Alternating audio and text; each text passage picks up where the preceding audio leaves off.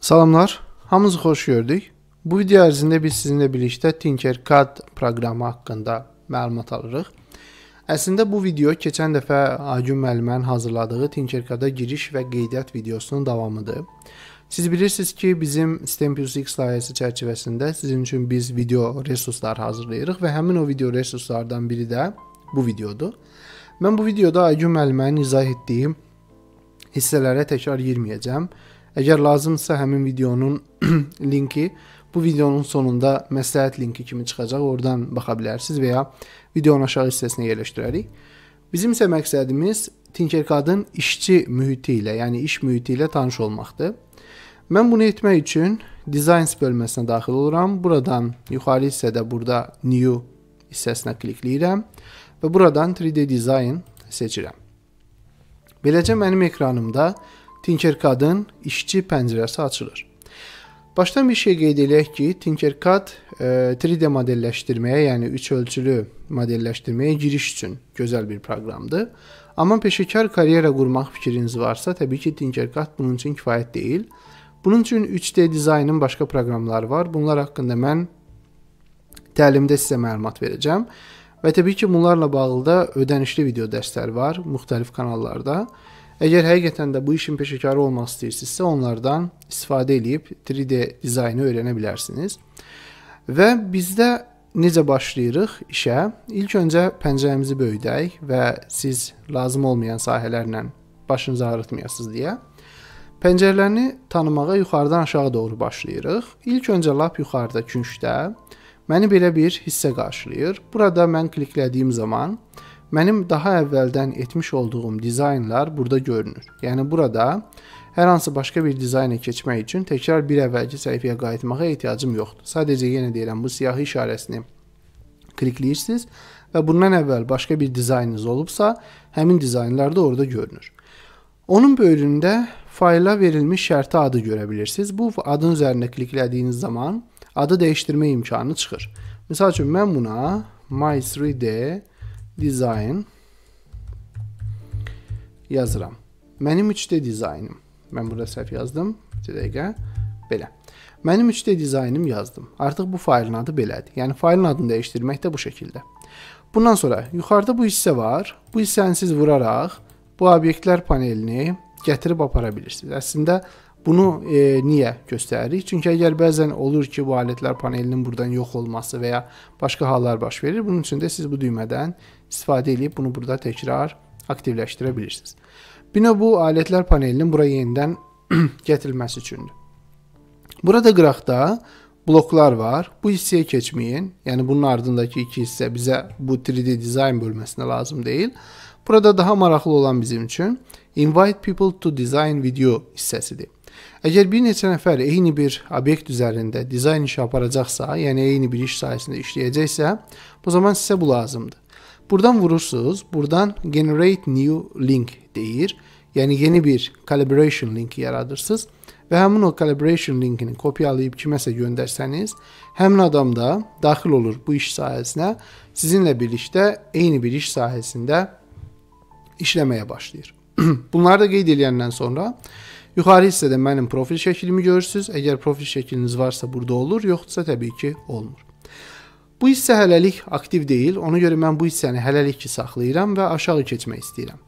Aşağıda bizim settings bölməsi var. Bu settings bölməsinə əgər siz daxil olsanız, bu zaman burada iş pəncərəsinin bəzi xüsusiyyətlərini dəyişdirə bilirsiniz. İlk öncə burada show grid var. Əgər mən bu show gridi götürsəm, baxın, iş pəncərəmdə belə deyək, həmin o bayaq gördüyünüz e, belə deyək, haşiyələnmiş və ya e, xanalara ayrılmış hissə artıq olmayacaq.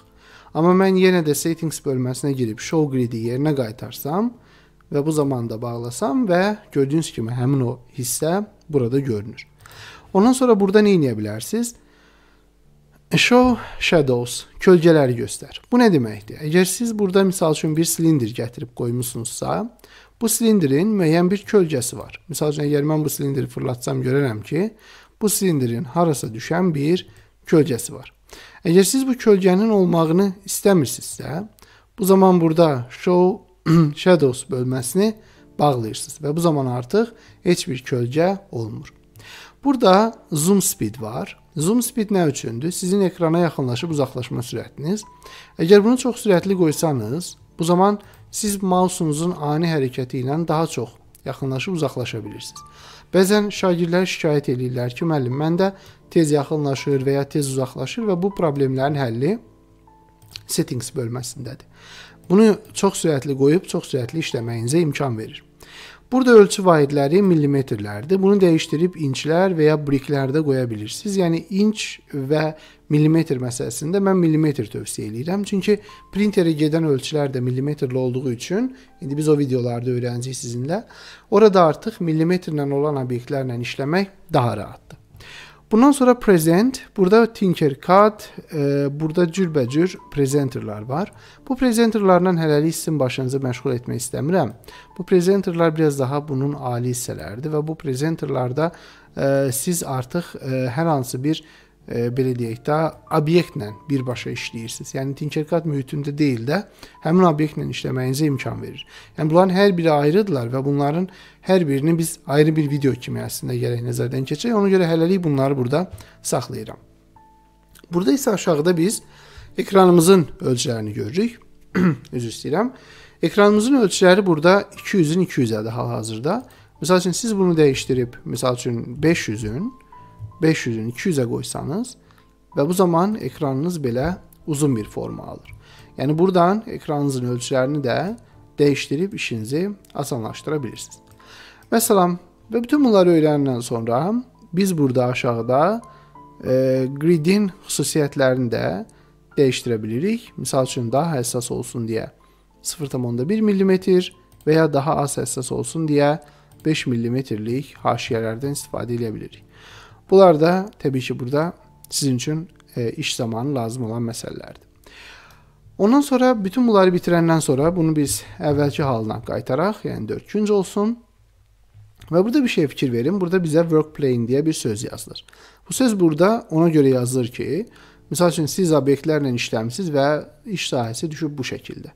Və siz e, bilmirsiniz ki, məsəl üçün əsas iş sahəniz haradır. Və hər zaman bu sözə baxaraq sizin hansı tərəfdə olduğunuzu asanlıqla özünüz təyin edə bilirsiniz.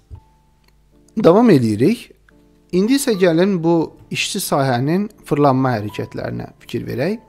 Yadınızda saxlayırıq ki, əgər biz mausun təkərini irəli geri fırladırıqsa, bu zaman obyektlərə yaxınlaşıb uzaqlaşa bilirik. Burada fokal point məsələsinə fikir verin. Nədir fokal point? Məsəl üçün mənim iş sahəmdə iki obyekt olsun. Məsəl üçün bir dənə silindr olsun və bir dənə də kub olsun iş sahəmdə. Əgər mən burdan e, silindri e, mausu silindrin üzərinə gətirib təkər fırladıramsa, silindrə yaxınlaşıram. Yox, əgər mausu kuba doğru tutub ona təkər fırladıramsa, bu zamanda kuba doğru yaxınlaşıram. Yəni mausu hara tutursunuzsa, ora doğru yaxınlaşırsınız. Bunu yaddan çıxartmırıq. Və burada bir şey də var ki, shift və kontrolla təkəri fırlatmaq heç bir əlavə əməliyyat yerinə yetirmir. Yəni bunu bilin. Sol düyməmiz hər zaman olduğu kimi obyektlərimizi tutub seçmək üçündür və sürükləmək üçün, həmçinin tutub saxlayanda obyektlər sürüklənir. Sağ düyməmiz isə müstəfini fırlatmaq üçündür. Əgər siz sağ düyməni sıxılı saxlayıb mausunuzu hərəkət etdirsəniz, bu zaman müstəfini müxtəlif formalara fırlada bilirsiniz. Bütün bunları öyrənəndən sonra gəlin bu kənar hissədəki kubla tanış olaq. Bu kub çox yaxşı bir kubdur. Bu kubdan istifadə edərək siz obyektinizi üstdən, yanlardan, künclərdən və s. kimi tillərdən, misal üçün görə bilirsiniz. Və bundan daha rahatı dediyim kimi sağ düyməni basıb e, fırlatmaqdır. Ümumiyyətlə çoxları mouse-la işləməyi sevmir, amma Tinkercad işləyirsinizsə, ümumiyyətlə dizayn və modelləşdirmə işləyirsinizsə, mouse-dan bir qədər mehriban olmağınız məsləhətdir. Çünki işimiz mouse olmadan keçmir və getmir. Bundan sonra burada home var. Home nə üçündür? Məsəl üçün fikir verin, mən yenə də bu iş sahəsinə tərs dayanmışam fırlanmalıyam əslində düzəltmək üçün belə əllə, amma bunu etməmək üçün burada home düyməsinə gəlirəm və onu vurduğum an bu məni e, ilkin vəziyyətimə, yəni proqram açılanda olan vəziyyətə qaytarır. Burada yenə də bizim başqa bir maraqlı alətimiz var. Bu alət fokuslanma alətidir. Məsəl üçün burada təsəvvür edin ki, iş sahəsində çox uzaq bir küncdə çox balaca bir fiqur var. Burada isə qarşıda böyük fiqurlarımız var və mən həmin o arxadakı fiqura əgər gedib çıxmaq istəyirəmsə, o fiquru seçirəm və bu alətdən istifadə edirəm birbaşa həmin fiqurun olduğu yerə gəlib çıxıram. Və yenidən home basıram, geriyə gəlirəm və yenə kubu seçirəm bu dəfə və bu dəfə də kuba fokuslanıram. Yəni bu alətlərdən istifadə edin ki, işiniz çox sürətlə getsin, yoxsa biraz darıxdırıcı ola bilər. Bunu da öyrənəndən sonra biz artıq yuxarı paneldən tanış ola bilərik. Yuxarı paneldə bizi nələr gözləyir? İlk öncə obyektləri seçməmisinizsə, yuxarı paneldə başqa şeylər görməyə bilərsiniz. Obyektləri seçdikdən sonra isə yuxarı paneldə ilk öncə bizi kopyalama əmri gözləyir. Bunu seçdiyiniz zaman bunu klaviaturadan Ctrl-C ilə də etmək olur və sonra Word proqramında və s. olduğu kimi Ctrl-V vurub həmin obyektin kopyasını alıb yanına qoya bilirsiniz. Və ya yenə bir obyekt seçək. Bu zaman böyürdə Vstavit də çıxır, yəni kopyalayırsınızsa təbii ki bunu yapışdırmalısınız da bu da burada çıxır. Bu alət daha maraqlıdır. Burada duplicate and repeat var. Bu hər hansı bir aparılan əməliyyatı bir neçə dəfə təkrarlamağa imkan verir. İndi videonun sonlarına yaxın biz çarx dizayn eləyəcəyik və həmin çarxın dizayn zamanı siz görəcəksiniz ki, bu alət bizə e, təkrarlanan əməliyyatların icrasında necə də daha çox yardımçı olan bir alətdir. Burada obyektləri silmək üçün delete var. Burada isə geriyə qayıtmaq üçün təbii ki, undo və redo düymələri yer alır. Yəni geriyə və irəli vermək üçün. Bundan sonra buradan obyektlərinizə rəylər yaza bilirsiniz. Comment hissəsi var. Burada isə bizim e, qrup obyektləri ilə işləmək üçün alətlərimiz var. Qrup obyekti alətləri nəyə deyirəm? Əgər mən bu obyektə yaxınlaşıramsa, bu obyekti misal üçün böyüdürəm. Bu arada obyektin ölçülərini dəyişdirməyə də fikir verin. Kənarındakı nöqtələrdən tutaraq obyektin ölçülərini və hündürlüyünü və s. kimi parametrlərini dəyişdirməyiniz mümkündür.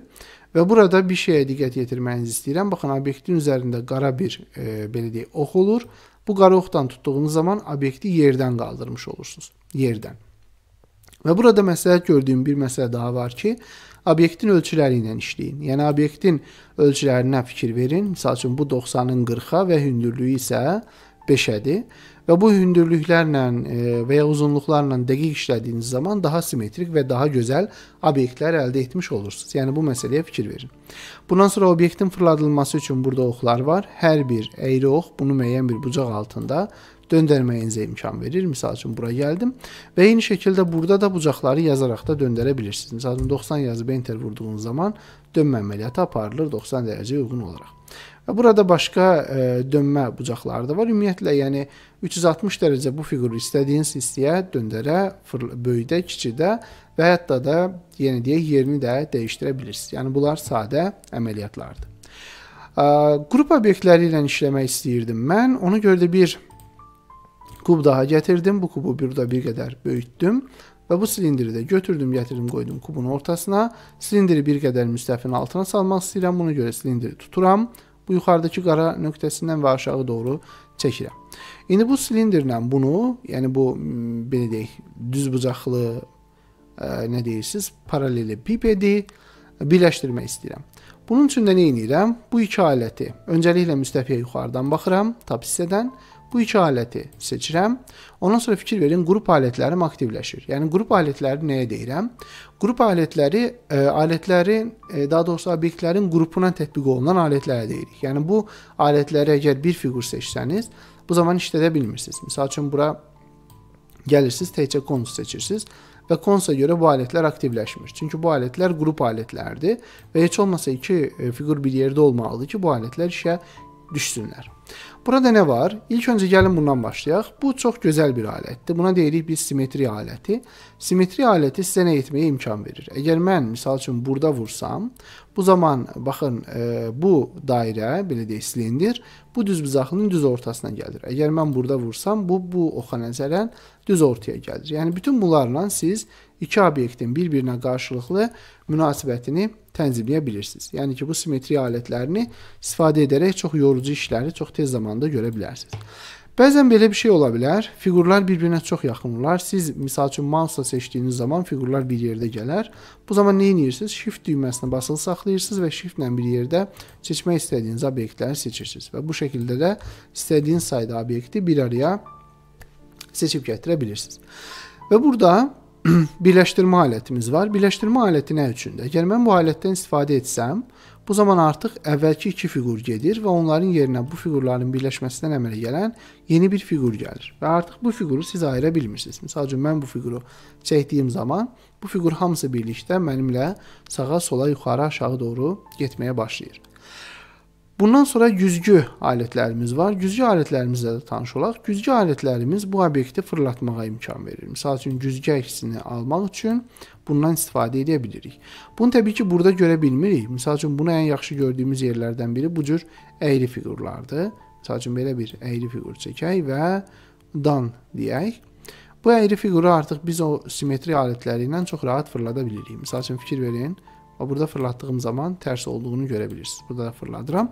Yəni bu güzgü əksinin alınması üçün istifadə olunan bir alət idi. Hansı alət idi? Bir daha yadınıza salaq. Deməli bu yuxarıdakı köşkdəki alət. Bu arada bunu da tək obyektlərə tətbiq etmək mümkündür. Yəni hər hansı bir obyektin bundan istifadə edərək güzgü əkslərini tapa bilirsiniz. Bundan sonra qeyd eləyək ki, hər bir obyektin, ümumiyyətlə Tinkercad-dakı hər bir fiqurun özünün xüsusiyyətləri var. Yəni bunu bilmək lazımdır. Fiquru ekrana gətirdiyiniz zaman bu fiqura aid ola biləcək xüsusiyyətlər burada pəncərə halında açılır. Fiqurumuzun adı silindirdir. Kilit var burada. Bu kilit nəyi göstərir? Redaktörünü bağlaya bilərsiniz. Yəni səhvən bu fiquru bir də redaktə etmək istəmirsinizsə, onun redaktəsini bağlayırsınız. Yəni bu zaman onun üzərinə gəldiyiniz zaman artıq redaktə əməliyyatı aparmağa sizə imkan vermir. Redaktörünü açdınız və indi artıq redaktə əməliyyatı apara bilirsiniz. Redaktə üçün burada müxtəlif alətlər var. Elə e, obyektlərimiz var ki, onların daha çox alətləri var redaktə üçün, elləri var ki, azdır. Məsəl üçün bayaq gördüyünüz kimi ölçüləri və s. dəyişmək olur. Yəni bunu bayaq demişdik. Burada isə mən bunu göstərmək istəyirəm. Deməli, sides nədir? Sides tərəflərdir. Əgər bu silindrin mən tərəflərinin sayını maksimuma çıxartsam, kənarları düzləşir. Yəni daha düz kənarlara sahib olur. Məsəl üçün bəzən olur ki, buna fikir vermirsiniz. Obyektiniz silindirdir və ya e, belə deyək də dairədir. Gəlir çap olunanda görürsüz ki, kənarları til-til qalıb. Yəni ki, bucaqlar görünür. Bu da olmasın deyə burada 64 tərəf verirsiniz ki, yəni bu tərəflər o qədər sıx olsun ki, siz bunları görməyəsiniz. Burada bir şey də var. Mən bunu çox-çox da azaltsam, bu da artıq 12 tərəfli ola bilir minimum. Yəni 12-dən aşağı bunun tərəflərinin sayını sala bilmirsiniz. Bevel, bevel nədir? Bevel bunun kənar hissələrinin oval formasını almağıdır. Bu bevelların e, yenə deyirik, e, bir xüsusiyyəti var ki, əgər siz slaydları və bevelları artırsınızsa, bu zaman o daha gözəl e, görünməyə başlayır. Bir də burada segmentlər var. Segmentlərə də gəlin baxaq. Segmentlər isə baxın, bura fikir verək bir dənə. Fikir verirsinizmi? Yəni bax bu segmentlərin sayını siz artırdıqca həmin o keçid daha oval formasını almağa başlayır. Yəni əgər mən bu segmentləri azaltsam, məsəl üçün 1 segmentdir, mən bura məsəl üçün 2 yazsam, o keçid iki segment hesabına baş verir. Fikir verin, burada ikisi də aydın şəkildə görünürlər və s. Burada isə biz fiqurun neqativini görə bilirik. Neqativ nədir? Bu bizə çox zaman lazım olur ki, böyük obyektin içində hansı kiçik obyektlər olub, istifadə olunub bunu təyin etmək üçün. Məsəl üçün uşaqlar Tinkercad-da dizayn eləyirlər, gətirirlər. Müəllim hər şey əladır, gözəldir və neqativ vuran kimi baxıram ki, fiqurun içində başqa fiqur qoyublar. Səhvən və ya e, gizlətmək məqsədi ilə. O dəqiqə bu burada ortaya çıxır. Yəni bu neqativ məsələsinə fikir verin. Çox yaxşı bir şeydir. Bu neqativin iki rolu var burada. Birinci rolu odur ki, yenə deyirəm, fiqurun içərisinə baxmağa imkan verir. İkinci rolu odur ki, fiqur boşluğa çevrilir. Yəni bu fiqur boşluğa çevrilir, biraz qarışıq ola bilər. Məsəl üçün mən bu bayaqki silindiri bir qədər hündürləşdirsəm bu hissədən və onu boşluq şəklində gətirib bura əlavə etsəm və sonra da bunu bir qədər aşağı doğru keçirsəm, ondan sonra bayaqki fiqurla bir yerdə shift-dən istifadə edib bunların ikisini seçsəm və birləşdirsəm, bu zaman nə olur? Həmin fiqur bu birisi fiquru öz olduğu sahə qədər boşaldır. Yəni bununla da mən boşluq qoymuş oluram. Yəni boşluq qoymaq üçün istifadə edə biləcəyiniz alətimizdir. Bu kənar hissədəki alətlər paneli həddən artıq zəngindir. Yəni mən bunlarla bu videonun vaxtını doldurmaq istəmirəm. Alətlər panelimizə ilk öncə baxdığınız zaman burada bizi müxtəlif alətlər qarşılayır. Yəni fiqurlar deyək bunlara. Burada axtarış apara bilərsiniz. Məsəl üçün əgər siz e, məsəl üçün pişik axtarırsınızsa, və bu arada bu da mümkündür. Yəni hər hansı bir konkret obyekti belə buradan hazır halda tapıb e, meydançaya gətirə bilirsiniz. Məsəl üçün mən bu pişiyi tapdım. Görüm götürə bilirəmmi? Maalesef pişik mənə vermədi. Bu çox pis oldu. Və bunu verirmi? Bəli, bu pişiyi bizə a verdi.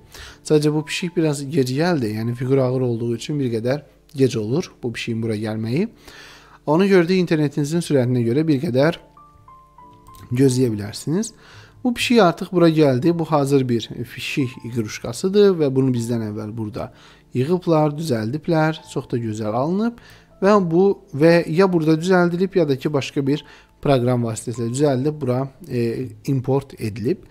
Burada müxtəlif e, fiqurlar tapa bilərsiniz. Yəni nəinki e, fiqur ki, pişik kimi incə obyektləri, hətta gear, yəni çax dediyiniz böyük obyektlərdə tapa bilirsiniz. Yəni ki, daha mürəkkəb və e, türklər demiş karmaşıq obyektləri də burdan tapıb gətirə bilirsiniz. Məsəl üçün burada çoxlu çaxlar var. Məsəl üçün biz bu çarxı götürsək əgər, bu çarxı da gətirib ekrana qoymaq və sonradan bu çarxın rəngini dəyişdirmək və s. kimi əməliyyatlar bu çarxın üzərində aparmaq olur. Yəni bütün bunlar hamısı mümkün. Sadəcə axtarış yerinə nə yazmaq istədiyinizi düzgün müəyyənləşdirməlisiniz və gerisi hazır. Bunu dedik. Burada bu hissəni açıb menülər var. Buradan özünüz də baxa bilərsiniz, amma mən axtarmağa üstünlük verirəm. Çünki nə axtardığınızı bilirsinizsə, artıq vaxt itirmək lazım deyil. Burada daha vacib olan hər bir fiqurun öz xüsusiyyətləridir. Bunu da bir qədər aydınlaşdırmaq istəyirəm. Misal üçün bura fikir verirsinizsə bu konusdur. Əgər mən bu konusu gətirsəm, bu arada rəngini də açaq ki, aydın görək bu konusu. Bu konusa yaxınlaşsam, konsun xüsusiyyətlərinə baxsam, görürəm ki, burada yazır tap radius. Üst radiusu artırsam, konsun üst hissəsi fikir verirsinizmi açılır. Yəni o açılır, üst hissəsi alt hissəsindən hətta böyük də ola bilər. Yəni belə də ola bilər. Burada base radius, yəni aşağı radius, aşağı radius da eyni şəkildə böyüyüb kiçilə bilir. Yəni ki, aşağı radiusun kiçilməsi üçün də limit yoxdur. Yəni konusu bu şəkildə tərsinə də çevirə bilərsiniz. Height hündürlükdür. Aydın məsələdir ki, height bu şəkildə artıra bilərsiniz. Yəni konusunuz daha hündür olar və size isə konusun tərəfləridir. Ən maraqlı olan budur. Əgər mən bunu minimum kiçiltsəm, baxın konus çevrilir olur. Hmm, buna deyirik biz tetraeder, yəni ki, dördüzlüyə çevrilir. Bu şəkildə bundan istifadə edib obyektinizlə çox maraqlı işlər görə bilirsiniz. Məsəl üçün mən bunu 3 yox, burdan əllə dəyişdirib 4 də qoya bilərəm və bu zamanda belə bir piramida olur. Və sonra siz təbii ki, bu piramidanı, baxın, alətləri işlətməyi göstərirəm. Kopyalaya bilərsiniz. Kopyalayandan sonra bunlara yuxarı hissədən baxa bilərsiniz və ondan sonra bunları qruplaşdıra bilərsiniz shiftlə. Qruplaşdırandan sonra simmetri alətlərindən istifadə edib bir-birinin yanına gətirərsiniz. Ondan sonra obyektin birini tutarsınız və güzgü alətlərindən istifadə edib obyekti yuxarı doğru fırladarsınız. Yəni tuta bilmədik. Bir də yaxınlaşaq bura. Bəli, yəqin ki, buradan görə bilmirəm, ona görə bəli. Bu şəkildə obyekti fırladarsınız və fırladanan sonra da ki, bu obyekti çəkib qaldırıb ikinci obyektin üzərinə qoyarsınız və beləcə piramidalar bir-birinin üzərində gəldi oturdu. Yəni alətləri istifadə edə bilirsinizsə, artıq görəcəyiniz işdə bir xeyli sadələşir və vaxtınıza da burada xeyli qənaət olunmuş olur. Bu şəkildə bu alətləri də tanıdıq. Burada bir daha qeyd etmək istəyirəm ki, hər obyektin öz xüsusiyyəti var. Məsəl üçün elə obyektlər var ki, onlarla daha fərqli işlər görmək olur. Məsəl üçün bu obyekti gətiririk. Burada radius var. Radiusu böyüdüb kiçiltmək mümkündür. Məsəl üçün mən əgər buradan tutsam, bu radius böyüyüb kiçilə bilir. Tubikin ölçüsünü, yəni qalınlaşdırıb naziləşdirə bilirsiniz. Məsəl üçün burada mən 5 də deyə bilərəm buna. Belə. Bundan sonra tərəfləri bayaq olduğu kimi daha simmetrik olmasını, daha gözəl görünməsini təşkil edə bilərsiniz. Burada burada isə steplər var. Bunlar da təbii ki, görüntünü daha da ə, cazibədar hala gətirmək üçün istifadə olunur. Və bir şey yadda saxlayın ki, obyekti nə qədər böyüdürsünüzsə, bu zaman həmin o qabarlar da sizdən bir yerdə bir o qədər böyüyür və ona da o qədər də takılmağınızı düşən demiş məsləhət görmürəm. Çünki Gələn dərsdə biz görəcəyik ki, bunlar 3D printerə keçəndə bu yazma başlığının ölçüsü nədirsə o qədər, yəni həssaslıq görürsüz.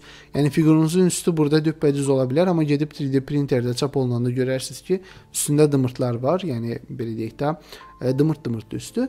E, bu da ondan irəli gəlir ki, həmin o yazma başlığının sizə imkan verdiyi ölçüdən daha həssas ola bilmirsiniz. Yəni ona görə burdakı həssaslığa o qədər ciddi fikir verməyin. Yəni əsas o fiziki olaraq çap zamanı orada onsuz da yazma başlığı hər filament e, qatını necə hansı dərinlikdə aparırsa, ondan artıq fiqurunuzdan keyfiyyət gözləməyin. Yəni bu məsələyə fikir verin.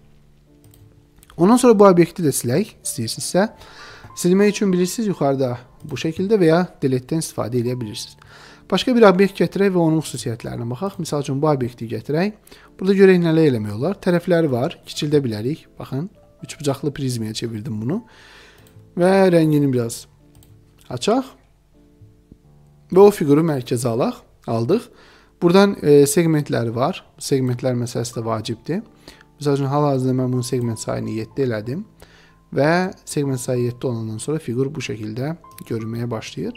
Burada təbii ki, saydıların, tərəflərin sayını biz məsəl üçün 5 də qoya bilərik. Bu zaman pentaqon olur, 5 bucaqlı. Və ya bu tərəflərin sayını məsəl üçün artırıb, e, məsəl üçün 6, 8 və s.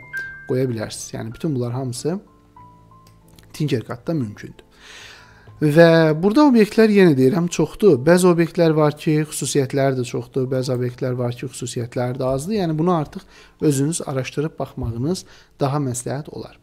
Və mən videonun vaxtını daha çox uzatmaq istəmirəm. Artıq istəyirəm ki, videomuzu yekunlaşdıraq. Sadəcə bir şey, çıxış məsələləri, hansı ki bu çıxışda biz e, format seçirik və qalanı gələn dərsin mövzusudur ki, orada biz bu formatın çapa hazırlanması və s. ilə tanış olacaq.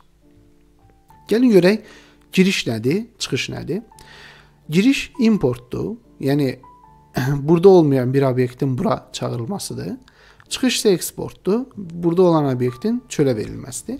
Bunun üçün mən bir e, şey göstərmək istəyirəm sizin üçün. Məsəl üçün burada e, biz əgər yazsaq ki, məsəl üçün free STL, niyə STL yazdığımızı deyəcəyik. Free STL files yazsaq, burada bir çox saytlar çıxır. Misal üçün e, burada Free 3D deyə bir sayt var idi. Görün bu çıxırmı burada? Çıxmır. Olsun. Misal üçün biz buradan şəkillərə girək. Hər hansı bir faylın STL-ni tapmağa çalışaq. Misal üçün bu fayl. Burada baxaq. Burada fayl formatı olaraq CNC engravingdir. Yəni bu oymadır. Bu lazım deyil bizə. Bunu da keçəcək yeri gəlmişkən təlimdə sizin üçün. Burada misal üçün belə bir obyektimiz var. Bu obyektə baxaq. Görək bu obyekt nədir? Bu obyektin e, STL-dir, bəli. Bu obyekt üçün getməyə dəyir. Gəldik bura. Baxın bu obyekt hazır şəkildə burada var. Görək bunu bizə verəcəklərmi? Deməli, aşağı doğru baxırıq. Görək onu bizə yükləmə imkanı varmı? Diqqətlə baxdığım zaman burada STL file even e, məncə bunu bizə yükləməyə qoymayacaqlar. Bircə dəqiqə biz buradan baxaq.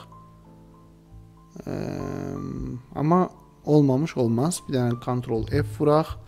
Buradan download sözünü yazaq. Download. Görək bu sözü hardasa işlədiblərmi? Okay. Hə. Download, download needs başqa harda işlədiblər? Başqa download sözü download of course. Bu da başqa. Download STL file to your 3D printer project. Təəssüflər olsun ki, bunu bizə vermədilər. Yəni bu qədər vaxtımız sırf buna görə getdi. Amma əslində bu faylı bizə versəydilər nə olardı? İndi mən onu göstərim. Məsəl üçün bu faylı mən Tinkercad-da yığmaq istəmirəm və ya yığa bilmirəm, məsəl üçün deyək. Bu faylı buradan müxtəlif saytlardan pullu və ya pulsuz hazır şəkildə götürürsüz. Ondan sonra gəlirsiniz Google-unuza, daha doğrusu Tinkercad-a və buradan import bölməsinə daxil olursunuz. Importda choose a file, file seç. Buradan keçirsiniz misal üçün Zagruska papkasına. Burada bu bizim əvvəl yığdığımız maketlərdir. Misal üçün bu maketlərdən birini indi onun əvəzinə misal üçün bu çarx maketini buradan open deyirik və çarx maketi burada gəlir.